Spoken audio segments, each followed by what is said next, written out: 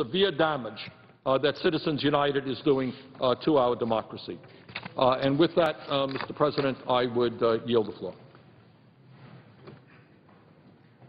Mr. President? Mr. President, it's my understanding I'm to be recognized at 2, and we are about 2.01 uh, for uh, 10 minutes, and I know the leader will have uh, something to say about uh, 215 in regards to the progress of this Senator, bill. Senator is recognized. I appreciate that so much. Mr. President, I rise today to speak on, uh, on the legislation that is actually before us, as opposed to the topic before. Uh, the Food and Drug Administration Safety and Innovation Act, and uh, we are currently debating that. In addition to reauthorizing the user fee uh, agreements, this legislation includes many other important provisions. Members should know what's in this bill and just how important these provisions are.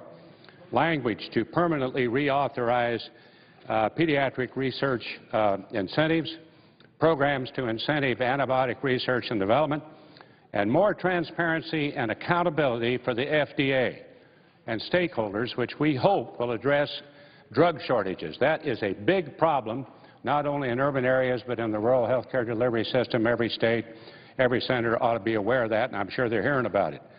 In May, I joined Senators Reed, Murray, Alexander in introducing the Better Pharmaceuticals and Devices for Children Act. Uh, that's the BPDCA. I don't think that makes a very good acronym, so I'm not even going to try it. Back in 1997, why Congress passed the Best Pharmaceutical for Children Act, which acknowledged the importance of ensuring medications were effective and safe for children by providing an incentive for pharmaceutical companies to invest in pediatric research. And in 2003, with the passage of the Pediatric Research Equity Act, why Congress required that the pharmaceutical companies to engage in these studies.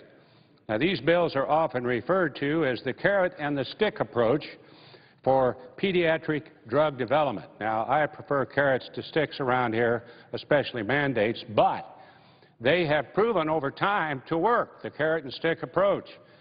Since the enactment of these laws, approximately 426 drug labels have been revised with important uh, pediatric information, and the number of off-label drugs used in children has declined from 80 to 50 percent. That's certainly good news.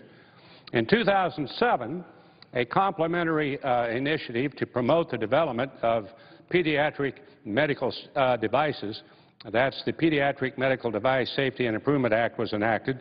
Now, this law has resulted in a five-fold increase in the number of small market medical devices designated for uh, pediatric use. Now, the Better Pharmaceuticals and Devices for Children Act will permanently extend these worthwhile programs while providing some real predictability and accountability for pediatric drug and medical device development. The legislation also includes the generating, pardon me, the Generating Antibiotic Incentives Act, and I joined with Senators Blumenthal and Corker uh, in supporting this bill um, as of last year. This title contains provisions that aim to boost development of products to treat serious and life-threatening infections, something that is a growing problem in all of our hospitals. It provides meaningful market incentives and reduces, get this, reduces regulatory burdens. Glory be. Here's a bill that actually reduces uh, regulations to encourage development of new antibiotics. Why? Well, the antibiotic pipeline has slowed, Mr. President, to an alarming rate. According to the FDA, the approval of such drugs has decreased by 70 percent since the mid-1980s. This is unacceptable. The development of just one new antibiotic can take upwards of 10 years. We must act now to avoid a potential health care crisis. Now, when I'm back in Kansas, and I know when other senators are back in their states, and talking to folks about health care, I often hear about the problem with drug shortages. Now, when a problem exists in an urban setting, simply multiply that 10 times, and that's what we have in our rural areas. This is never more true than in the issue of drug shortages. This is a crisis. As difficult as it is to hear from my hospital administrators and pharmacists in Kansas about the difficulties they are having in getting drugs to fill uh, prescriptions for patients, nothing compares to the patients and families of patients who can't get their drugs, who can't get their treatment, who are already scared about their future, and they can't get their life-saving medication due to shortages. This is unacceptable. This is why I joined together with a number of my colleagues on the Health Committee to work together to see if we could come to a bipartisan consensus on a way to alleviate at least some of the burden that drug shortages do create. The legislation now requires reporting on drug shortages, but also, also does provide some transparency and accountability in the hope that we can get to the root cause of this problem. Now, not everything in this legislation is what I would have done if I had my choice. That's obvious the case probably with every senator and every major bill that we uh, must make decisions on. But I am certain that many of my colleagues on the Health Committee are thinking the same thing. But I think we are pleased that we were able to come to a bipartisan consensus on this legislation and in addressing many of the issues that are affecting Kansans and the rest of Americans. Just talked to a fellow last night on the telephone said, why can't you all work together? Why can't you pass something in a bipartisan way? This legislation is a good example of exactly what that gentleman was talking about and what a lot of Americans are concerned about. In that regard, I really want to thank Chairman Harkin, Ranking Member Enzi for all of their work, all of the work by their staff, our staff, and the work of their staff over the past years and months in putting together this important piece of legislation. This took a long time, took a lot of effort, a lot of hard work. Their commitment to a bipartisan process and their willingness to communicate with all the members of the HELP Committee has led us through a relatively non-contentious markup, and I hope the same will happen as we consider this legislation on the floor. I yield back my time. Mr. President, the No, absence of a Mr. quorum. President. Oh. Mr. President, Senator from New York is recognized. thank you, and I thank my friend from Kansas for finishing his speech in a timely manner. Uh, For the last two years, I'm here to talk a little bit about the Disclose Act and Citizens United. Now, for the last two years, you've heard us talk about the need for full disclosure of money donated to campaigns. It's time for Congress to stop stalling and let the American voters find out where the money being spent on elections is coming from once and for all. All of our predictions of the aftermath of the flawed Citizens United decision, unfortunately, are coming true. This decision handed a megaphone to the wealthiest voices among us and strapped a muzzle on every other American. Sure, average Americans can talk to one another, but not spending $10 million on TV ads, and we know what kind of effect that has. If anything, the situation is even worse than we could have possibly anticipated, because unlimited spending by just a handful of the wealthiest Americans has made true democracy in danger. A true democracy of one person, one vote, of true equality, worrisome when you have such huge amounts of money being spent by so few people who seem to speak with one voice and one concerted point of view. The list of the top donors to super PACs reads like a who's who of the richest people in America. The contributions to super PACs that were released in the most recent disclosure reports are truly astonishing.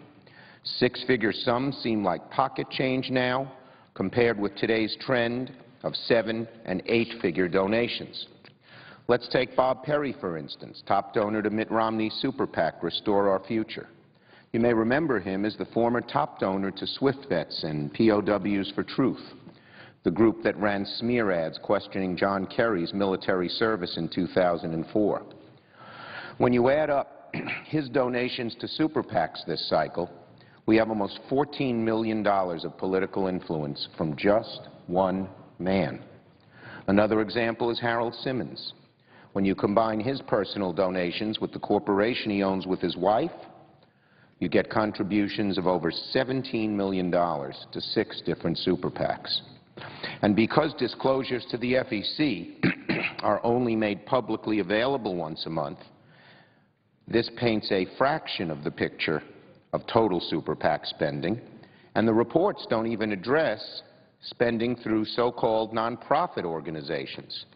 As we all know, 501c4 organizations are able to serve as conduits for huge sums of anonymous funding that are never publicly disclosed. And I call them so-called because they function the same as the super PACs, except they can't say vote for or vote against.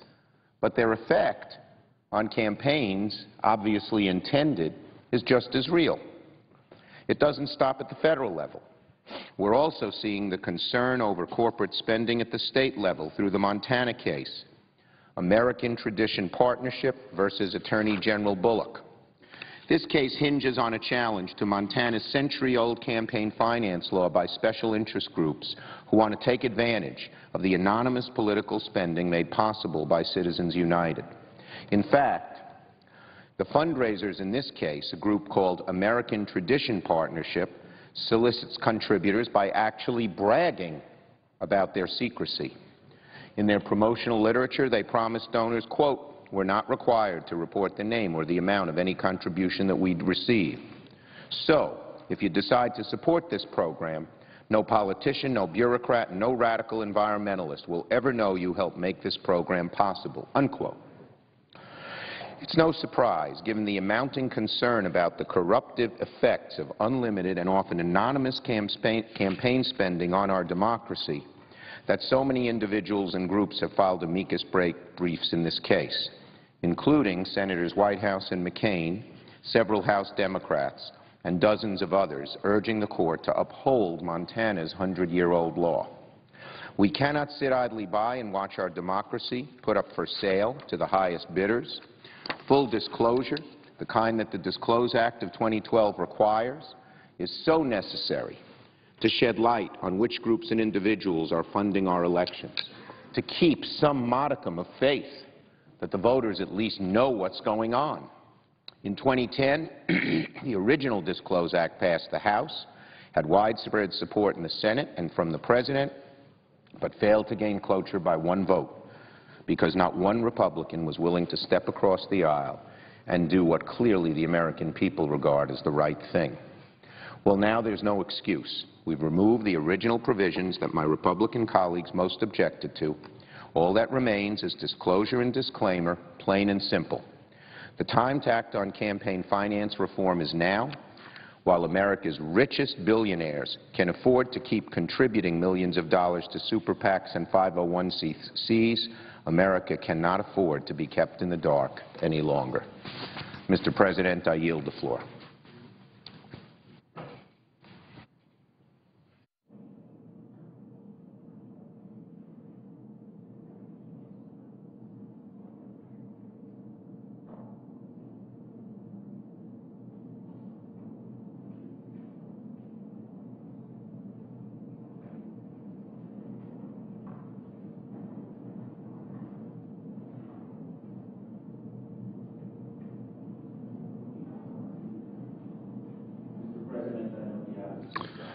The uh, clerk call the roll.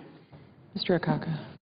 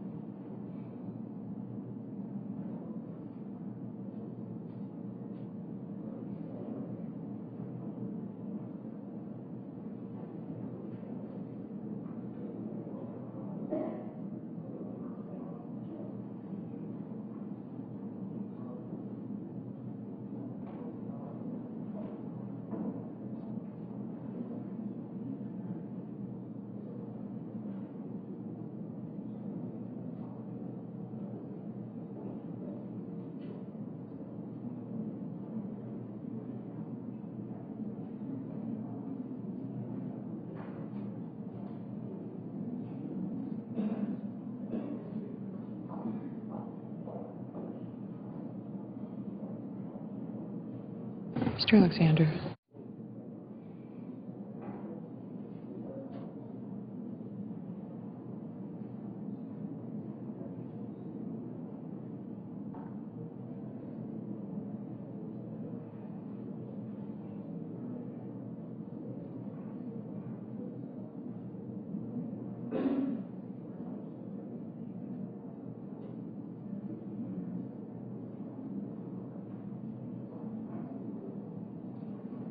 Mr. President, Majority Leader is recognized. I ask unanimous consent the call to quorum be terminated. Without objection, and the Majority Leader is recognized. Mr. President, the first thing we're going to uh, talk about, I've had conversations the last few days, in fact, longer period of time than that, with Senators Vitter and Senator Coburn, Senator Johnson, Senator Shelby, and others on flood insurance. Like a lot of things that happen, this has become critical that we do something on flood insurance. It affects almost 6 million people, and we need to get something done on a more permanent basis. Um, There's been a general agreement, we don't have it in writing yet, but I just want to make sure the record's clear here on the floor what my intention is, is that we would have a 60-day short-term extension. In that extension, there would be language for a duration of 60 days that would include in that the second home subject as part of the underlying bill that Senator Coburn is focused on. That would be for 60 days. Then I would make, be happy to make a uh, statement here on the floor today that during the next work period, that we will move to that bill, the flood insurance bill, so that we would have the opportunity to make it permanent. Um, It's very important we do that. It's, um, with the economy being such as it is, we can't, in this area, and probably others, but this one, we can't have these short-term extensions. It doesn't allow people to do what they need to do. Um, 40,000 homes a day go through a process where they have to have flood insurance. If there's no flood insurance, that's 40,000 loans every day that will not be approved. So um, Senator Johnson and Shelby have done good work to narrow down the list of amendments that we would have to consider when the Senate takes up this long-term flood insurance bill. Uh, It's my understanding there are um, a a dozen or so amendments, six, eight on each side. And, um, but I hope we can do that. If we can't uh, do that, we're going to have to go to the bill anyway, and I want to make sure how I feel, I want to make sure that Senator Vitter, who's on the floor today, understands that that's my understanding of the things that he and I have talked about the last um, couple of weeks. The Senator from Louisiana. Mr. President, I I thank the distinguished majority leader very much for this important announcement and this plan, and it certainly meets... Mr. President, it's my, it's my understanding that he was going to ask me a question because I don't want to lose the floor. Okay.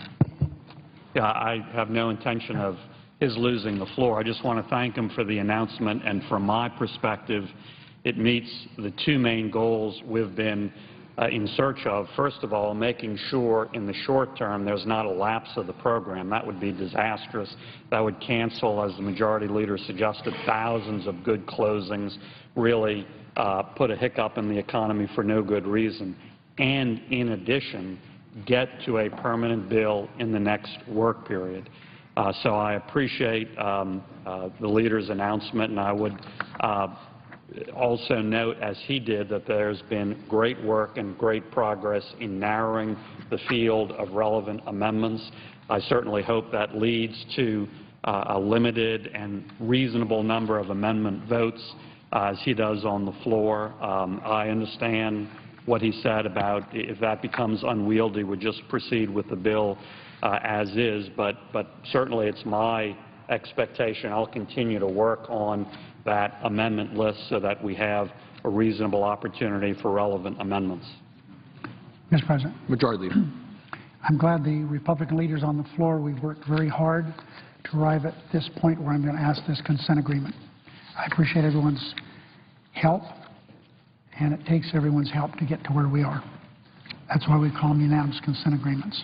I ask unanimous consent that the only first-degree amendments in order to the bill that's now pending before the Senate be the following. Bingaman 20 2111, McCain 2107,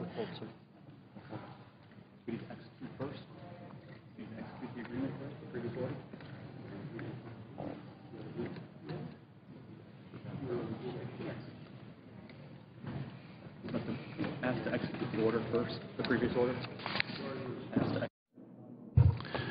Under the previous order, the motion to proceed to S 3187 is agreed to. The clerk will report. Calendar number 400, S 3187, a bill to amend the Federal Food, Drug, and Cosmetic Act to revise and extend the user fee programs for prescription drugs and medical devices and so forth and for other purposes. Under the previous order, amendment number 2122 is agreed to. Majority Leader? Thank you very much, Mr. President. I'm sorry I got ahead of the chair a little bit. I ask unanimous consent that the only first-degree amendments in order to the bill be the following.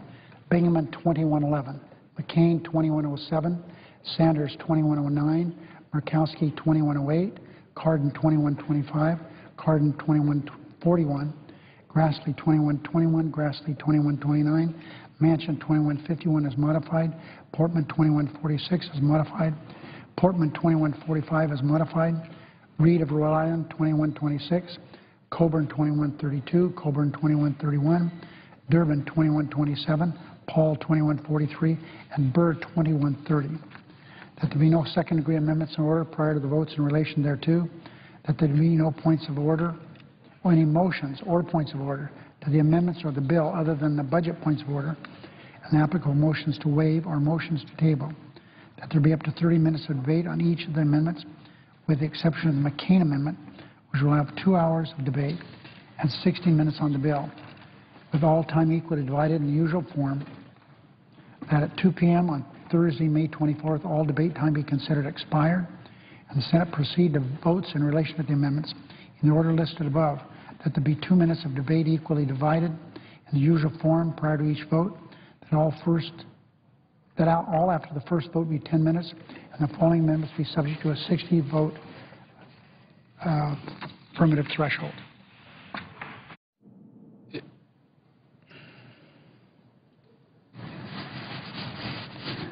60 affirmative vote threshold, Bingaman 2111, McCain 2107, Sanders 2109, Murkowski 2108. That upon disposition of the amendments, the bill be read a third time and the Senate proceed to vote on passage of the bill as amended. Upon disposition of S 3187, the Senate proceed to the consideration of calendar number 365, 2343. That the only amendment in order to the bill be an amendment from a Republican leader or his designee, the text of which is identical to 2366. That there be 10 total minutes of debate on the amendment, and the bill equally, and the bill equally divided between the two leaders or the designees prior to a vote on the McConnell or designee amendment. That no amendment be in order to the McConnell or designee amendment. That no motions or points of order be in order to the amendment or the bill other than budget points of order, and the applicable motions to waive. That upon disposition of the amendment, the Senate proceed to vote on passage of the bill as amended, if amended, that the amendment and the bill be subject to a 60-vote affirmative vote threshold, that if the bill does not receive 60 affirmative votes, S 2343 be returned to the calendar. Finally, the motion to reconsider be with respect to the cloture vote on the motion to proceed to S 2343 be withdrawn. Is there objection? Without objection, so ordered. So, Mr. President, we're going to have um, votes on these amendments. It's my understanding I- that there's thir- there's time, 30 minutes per amendment, and we need to get as much of that done today as possible. We have an event for spouses tonight, so we're going to have to have, we're not going to go- we're not going to be working late into the night. We have tomorrow to finish this. We should be able to do that. I hope we can. I hope it doesn't spill in. There's no reason it should spill over until the um, next day.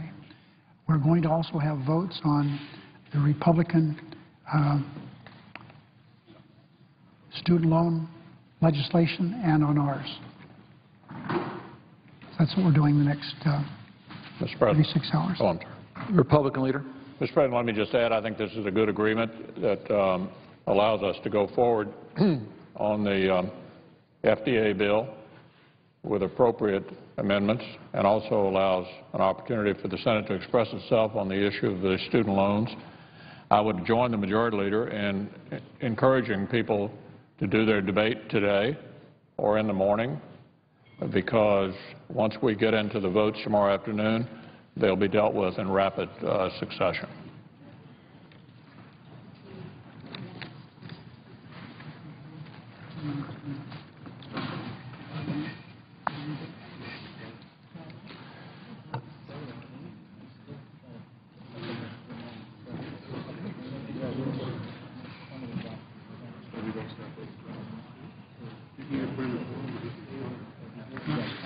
Shall I go?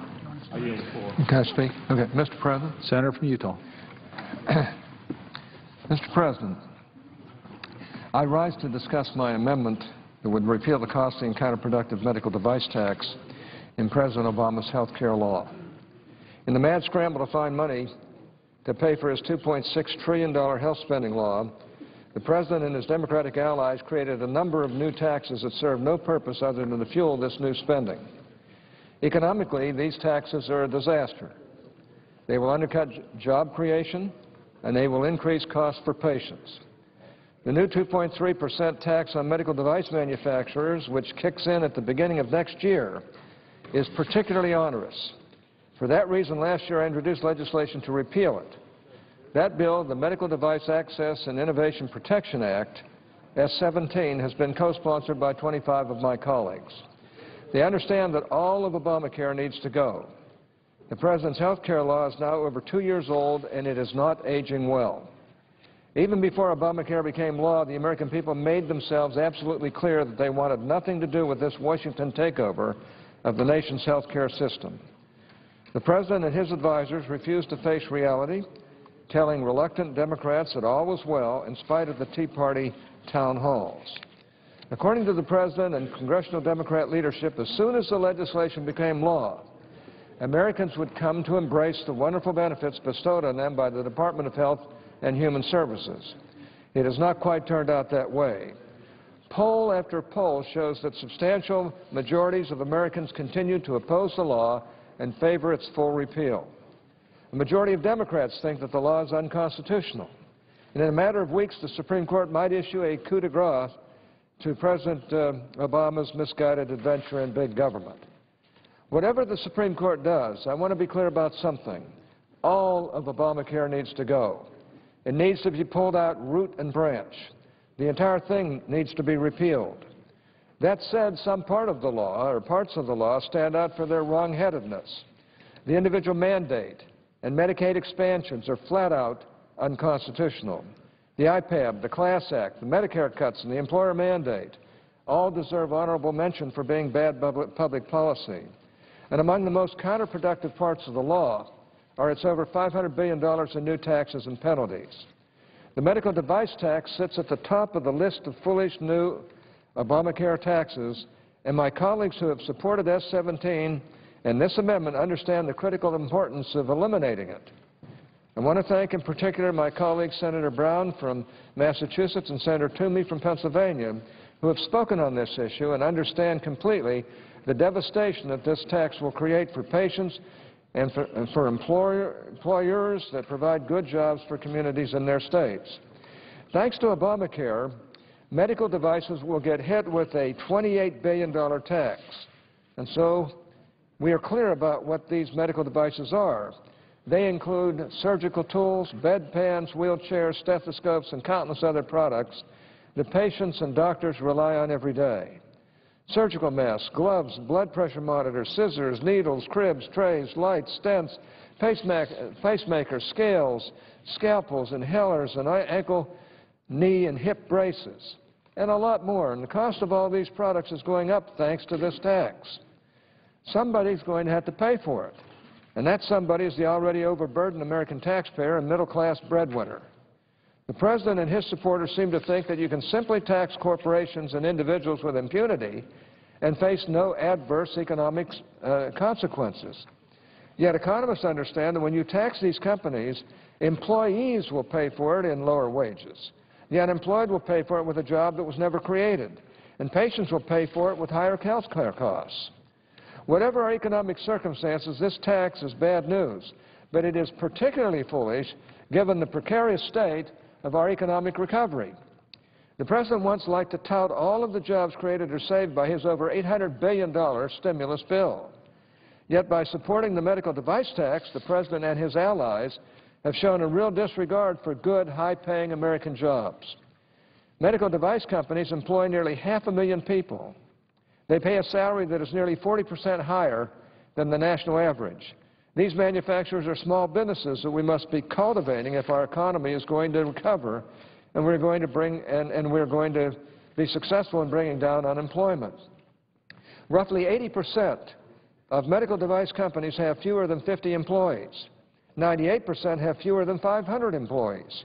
Obamacare's $28 billion tax hike on these manufacturers will do nothing to improve health care, but it will do plenty to undercut the viability of these companies that provide good wages and good opportunities for American families.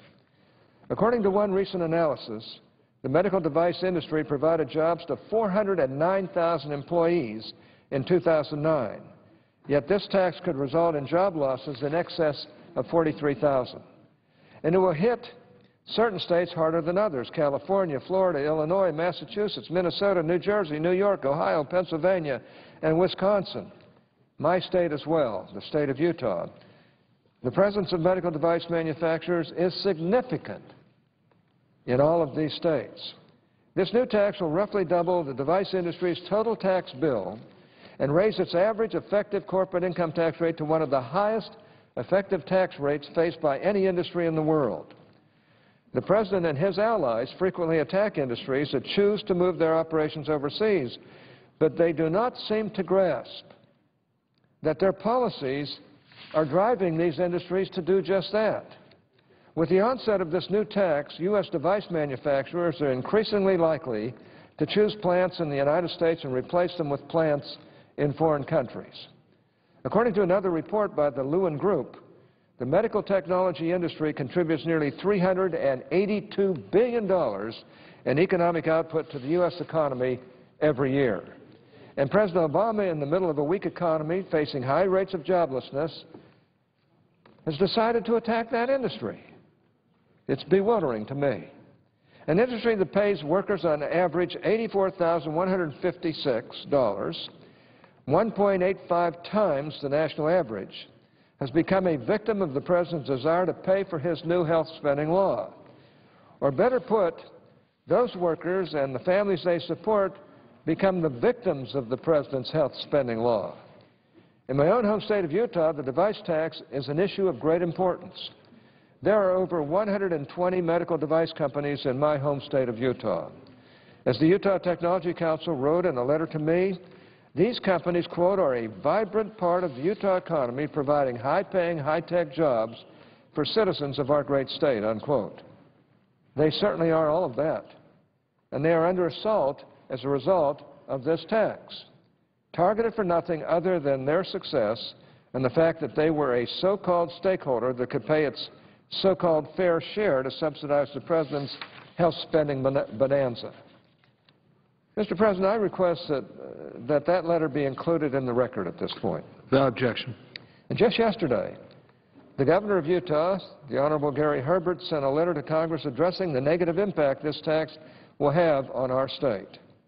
He wrote, quote, as a governor of a state with a significant concentration of medical technology manufacturers, I believe this tax could harm U.S. global competitiveness, stunt medical innovation, and result in the loss of tens of thousands of good-paying jobs, unquote. Now, there is little doubt that the President's medical device tax, one that unfortunately received the vote of every Democrat in the Senate, will do just that, kill jobs and undercut our economy. Mr. President, I ask that Governor Herbert's letter be included in the record at this point. Without objection, so ordered. Mr. President, the President's health care law is a travesty. The American people know it. They think that it is fundamentally illegitimate, unconstitutional to its core, and enacted over the deep and loud objections of citizens and taxpayers. All 2,700 pages of that law must be stricken from the U.S. Code one way or another. Eliminating its medical device tax is absolutely essential. It is critical for our states, for our economy, and for America's families and workers. I ask for my colleagues to join the repeal effort, and I thank my colleagues who have already joined as co-sponsors. Mr. President, I would like to briefly touch on one other issue that is of great importance to me and to the people of Utah and others all over the country. Over 150 million Americans regularly consume dietary supplements as a means of improving and maintaining their health. The passage of the Dietary Supplement Health and Education Act, or DSHEA, in 1994 brought clarity, predictability, and a better understanding of what the FDA expected from industry and vice versa. DSHEA provides an appropriate structure that balances the risks and benefits to consumers with continued access and affordability. Unfortunately, my colleague from Illinois, Senator Durbin, has filed an amendment to the current bill that would undo that well-balanced approach. As the author of DSHEA, along with my dear friend and colleague Senator Harkin in the Senate, I strongly oppose his amendment. It would require facilities engaged in the manufacturing, processing, packing, or holding of dietary supplements to register with the FDA, provide a description with a list of all ingredients as well as, copy, as a copy of the labeling for each dietary supplement product. Additionally, the facilities must also register with respect to new, reformulated, and discontinued dietary supplement products. And while I appreciate my colleague's commitment, his amendment is based on the misguided presumption that the current regulatory framework for dietary supplements is flawed and that the FDA lacks authority to regulate these products. This is simply not the case. Previous FDA commissioners, including Drs. Jane Henney, Mark McClellan, Les Crawford, and Andy von Eschenbach, as well as the former Deputy Commissioner, Dr. Josh Sharfstein, have all agreed that DSHEA provides an appropriate and sufficient level of oversight of this industry. Under DSHEA, Congress set out a legal definition of what could be marketed as a dietary supplement and safety standards that products have to meet. It allowed the FDA to develop good manufacturing practice standards and clarified what types of claims could be made. And it provided the Secretary of Health and Human Services with the authority to impose an immediate ban on any dietary supplement that poses an, an, an imminent risk to public health. The DSHEA already provides the Secretary with enforcement tools of seizure, injunction, or criminal prosecution for ingredients that pose an unreasonable risk of illness or injury, are poisonous or deleterious, contain unapproved drugs or, or food additives, or fail to meet good manu manufacturing practice standards. Furthermore, under the Dietary Supplement and Non-Prescription Drug Consumer Protection Act, a manufacturer, packer, or distributor whose name appears on the label is required to report a serious adverse event related to the use of a supplement within 15 business days to HHS, submit any related medical information received within one year of the initial report within 15 business days, maintain records uh, related to each report for six years, and permit inspection of such records. To me, that sounds like a whole lot of regulation. The FDA already has a tremendous amount of regulatory oversight and enforcement tools when it comes to dietary supplements. Yet instead of urging FDA to use its current enforcement authority to find and publish those companies that are not following the law, Senator Durbin's amendment serves to punish all responsible companies with its overreaching mandate. Should I say mandates? Finally, I would, I would be remiss if I did not mention another obvious point. Senator Durbin's amendment would have the devastating effect of piling on more work for an underfunded agency already struggling to keep above water with its current core responsibilities. Now, let me just say this. Before we passed DSHEA, there basically was no regulation over this industry. We brought together, Senator Harkin and I, the whole dietary supplement industry to get behind DSHEA. They are behind it. It took over 10 years to get the good manufacturing practices completed by FDA. More than 10 years, as a matter of fact. But we provided for them in that agreement. We provide all the tools that are necessary to supervise and regulate dietary supplements. And to now add other obligations onto this industry is just plain not right. And I hope my colleagues in the United States Senate and the House of Representatives will recognize that this is an overreach and not put up with it. We're not going to put up with it. I will be voting against Senator Durbin's amendment, and I urge all of our colleagues to do the same. And at this point, I'd like to pay tribute to my colleague, Senator Harkin, from Iowa. Senator Harkin worked assiduously on this uh, bill just uh, along with me. We worked all the way through the Senate on a number of occasions on various things. We've improved the bill from time to time. We've gone along with the improvements. We've done everything we can to protect the American citizens. Everything that should be done, nothing further needs to be done. This is an industry that really deserves support, not condemnation. And Senator Harkin has been there every step of the way. He's a champion for the dietary supplement industry, as am I, and a lot of others in this body. I think it's time to quit trying to overregulate everything to death and cause the, the costs to go up by leaps and bounds. Dietary supplements are not inexpensive today, although they, they're a lot less expensive than they would be if we keep piling on these regulations. And frankly, we believe that we have all of the necessary language in law today to protect the American public from uh, deleterious dietary supplements. And we've given FDA, the Food and Drug Administration, all the authority that they need. And every FDA commissioner has met with me, as I recall, since DSHEA was passed in 1994, and have said that they have enough tools to be able to supervise this industry properly and that they don't really need anything more. Make a long story short, again, this is an overreach by our colleague, uh, who, sincere though he may be, and as important as he may be. And I would hope that he'll withdraw his amendment so that we don't have to go through this uh, again.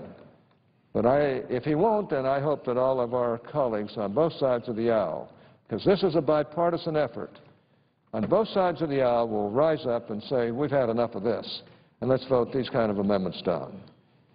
With that, I yield the floor to my, uh, yield the floor. Mr. President. Senator from Iowa. Mr. President, I want to thank uh, the senator from Utah for his concluding remarks regarding the amendment that will, that I assume will be offered, at least it's clear to be offered by the senator from Illinois.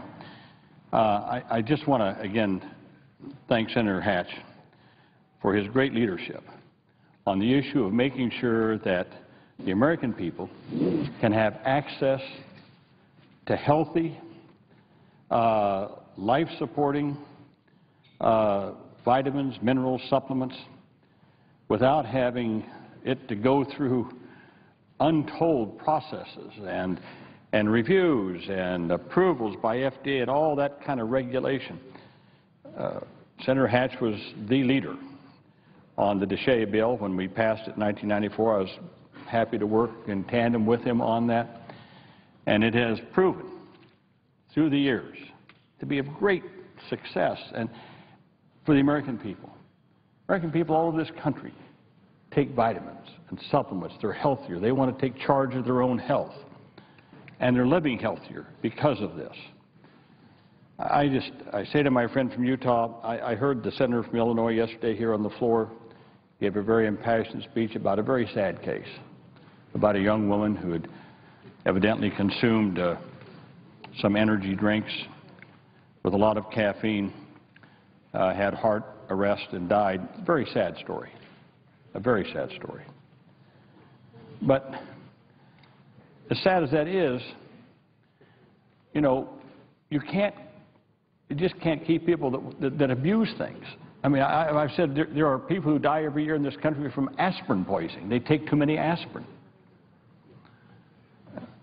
So, you know, a reasonableness have, has to enter into this. Uh, we have, we've worked together to make sure that the labels are good on all of these things, that people know what's in them, that FDA has the authority. As the senator said, the FDA, every commissioner said they have the authority to keep dangerous products off the shelves and remove them from the shelves. They have all that authority. So, you know, these cases like Senator Durbin brought up, they're sad. They're very sad, and you wish it weren't so. But I don't think that that lends itself then to overturning what has been working now for 18 years. Well, 17 going on 18 years, working well for the American people. So I, I, I, I just joined with the senator from Utah. I, I would hope that uh, the amendment might be uh, might not come up, but if it does, it does. And uh, and I'm sure there'll be some debate on it. But I would uh, join with the senator in Utah in urging all members of the Senate uh, to to to vote that amendment down. Uh, if the amendment is come up, I would I would I would move to table that amendment. I say to my friend from Utah. And hopefully that uh, we can approach this in a much more judicious, responsible thinking manner. Now, I would just say to my friend from Utah, and I know he agrees with me on this, we, I, I'm sure we're not taking the position that nothing can ever be changed. And we've changed DSHEA in the past to make it work better. But we've done it after due deliberation and thoughtfulness and committee hearings and going through the process to see just what this means in terms of access uh, to these products uh, by the American people and to make sure that we keep the intent of DSHEA uh, there. So, again, uh, I'm more than willing as chairman of the committee, senators that used to be chairman of this committee, I was chairman at one time and ranking member, uh, that we're, we're always willing to look at these things and take a hearing on it and get information. So I, again, I just thank the senator from Utah. He's been a great leader on this. I, I, I appreciate his. Thank. And, uh, Appreciate his leadership on this matter. And I know that Senator Durbin's very sincere, but my gosh, there's enough regulation and regulatory authority in, in, in this bill, a- and including the amendments that we've added voluntarily over the years, Mhm. to resolve any problem that exists. Exactly. And frankly, uh, I hope everybody will vote against the uh, Durbin Amendment. Thank you. I, I thank the senator from Utah. Mr. President. Uh,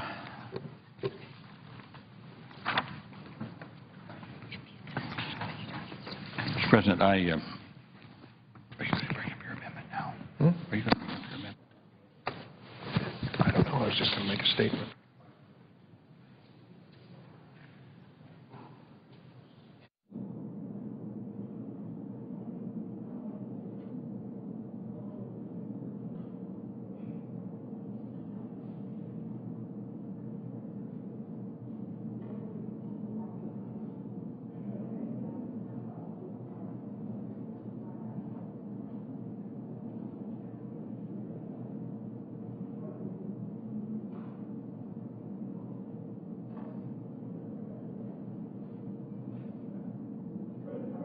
Does this side have remaining on the bill?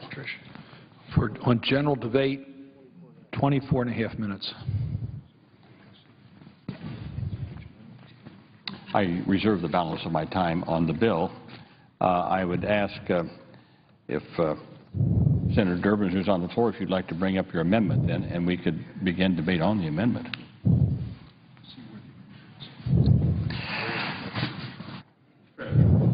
Senator from Iowa has the floor. Uh, Mr. President, uh, again, consuming my time on the bill, I understand I have, I have 24 minutes left. That is correct.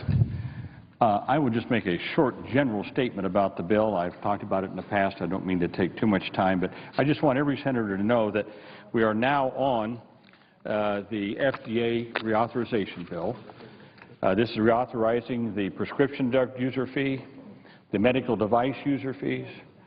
Uh, then we are authorizing a new program, the generic drug user fee, the biosimilar uh, user fee, uh, and um, and um, and so we're on the bill now.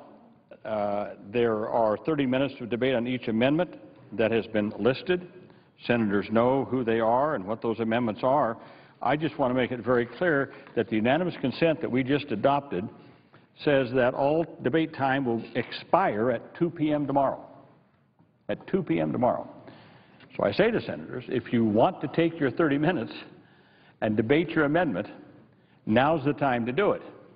If you wait too long, 2 o'clock will come tomorrow, You won't have the time, and you'll be limited to one minute. There'll be two minutes on each amendment after that, so you'll be limited to just one amendment. So uh, those who have amendments and wish to discuss them, you're guaranteed at least 30 minutes, but all time runs out at 2 p.m. tomorrow. So again, I I say to senators, uh, if you'd like to talk on your amendment and, and, and make your points, now's the time to do it this afternoon.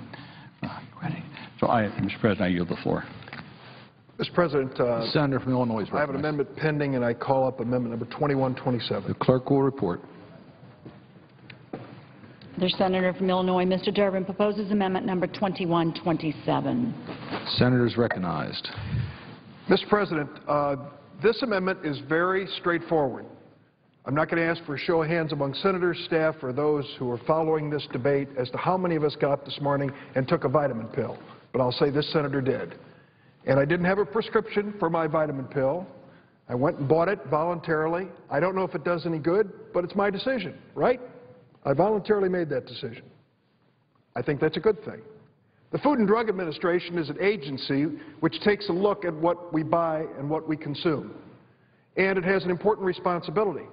When it comes to certain things like prescription drugs, they test them.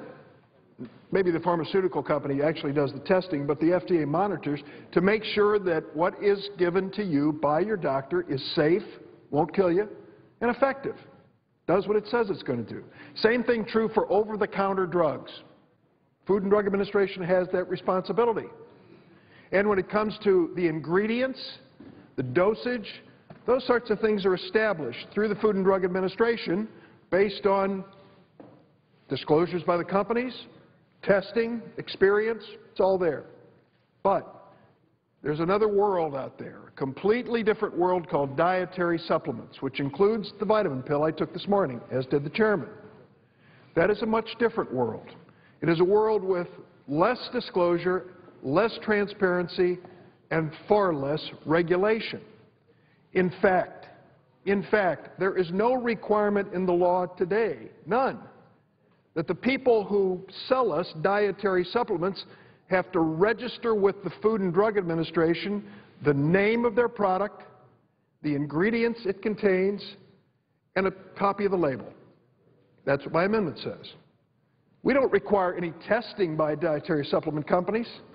We don't require any assertions of safety, just simply that they register with the FDA that they're selling in America. So that to me seems like a pretty basic thing. And it isn't my idea. It isn't an original idea. It comes from a report from the General Accountability Office in 2009. Here's what they recommended after they made a uh, review of the safety issues with the Food and Drug Administration. To improve the information available to FDA for identifying safety concerns and better enable FDA to meet its responsibility to promote the public health, we, the GAO, recommend that the Secretary of the Department of Health and Human Services direct the Commissioner of the FDA to request authority to require dietary supplement companies to identify themselves as a dietary supplement company as part of existing registration requirements and update this information annually, provide a list of all dietary supplement products they sell and a copy of the labels, and update this information annually, and report all adverse events related to the dietary supplements. In other words, did you take the pill and get sick? Does that seem like an onerous, heavy-handed, big government overregulation of an industry? Remember, the dietary supplement companies are not all based in the United States. There are products sitting on the shelf, which if you don't look carefully, you may not know, come from a lot of other countries, including China. So, do we want to know? When you go in the vitamin store, would you like to know that the company that's selling you whatever it is is at least registered in the United States? Is that too much to ask? That if you're going to sell the product in the United States, you have to register with the FDA and tell us what the ingredients are?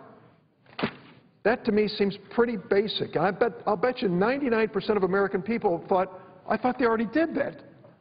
No, they don't. No requirement in the law. Dietary supplements outside the law. And let me tell you, dietary supplements are go beyond the vitamin pill. Yesterday I told the story on the floor. 16-year-old girl in Hagerstown, Maryland, she drank two Monster Energy drinks. You ever seen them? When you go in a store, you see Cokes and all the rest of those things, and, and there's a Monster Energy drink. There are all kinds of them out there. She drank two of them and died. Killed her. Cardiac arrest. I met with her mom yesterday. She said, I ran in there. Her boyfriend said she stopped breathing while watching TV. She was dead on the floor. They took her to the hospital, barely got her back to life for a little while, and she lingered and died just a few days later. It was a dietary supplement. Is it too much to ask the company making the Monster Energy drink to register with the FDA and tell us what the ingredients are in that drink? Is that the heavy hand of government? I don't think so. Because here's what we found. Sometimes ingredients that may appear to be benign and okay today turn out to be dangerous when you look at them more carefully, more closely, and maybe more dangerous for pe people who are younger or pregnant or in a compromised immune situation. So this amendment basically says American consumers have the right to know that the dietary supplement sitting on the shelf has at least shown up and registered with the FDA. I heard Senator Hatch and Senator Harkin say this just goes too far. It's too much to ask. I think they're wrong. Manufacturers already, some say, already voluntarily provide product labels to the National Institutes of Health. It's true, but it's a voluntary system. Good actors share their labels with the NIH. But the bad actors don't. NIH is in the process of building a label database that currently has 7,500 7,500 dietary supplement labels. Do you know how many products are on the market? They have 7,500 labels? 75,000. 75,000. So 10% are volunteering this information. So to say the NIH already has the information is 90% wrong. Requiring registration, they say, of these labels is just too much work for the FDA. No, as a matter of fact, the FDA responded to the GAO uh, recommendation and said, we agreed the agency's ability to ensure the safety of dietary supplements used by consumers would be improved if FDA had more information on the identity of firms marketing dietary supplements as well as the identity and compositions of the products they market. The FDA responded by saying, we want this information to keep Americans safe. So to argue that this is a burden that we shouldn't put on the FDA, they asked for it. The other thing is about how many supplements are being sold in the United States. I said 75,000. That was the estimate in 2008. The number, I'm afraid, is much larger. And in terms of how many come on the market each year, it's just a guess. It's a wild guess because it's the Wild West. It's an open market. Any country that wants to export their dietary supplement to the United States, whether it's from China or India or Africa or Europe or Mexico, be my guest. You don't even have to show up and register with the FDA. It's a simple amendment. It just says if you want to do business in the U.S., sell your dietary supplement, tell us who you are, tell us what you're selling, tell us what your label looks like. That's not too much to ask to protect families from some harmful consequences. I reserve the balance of my time.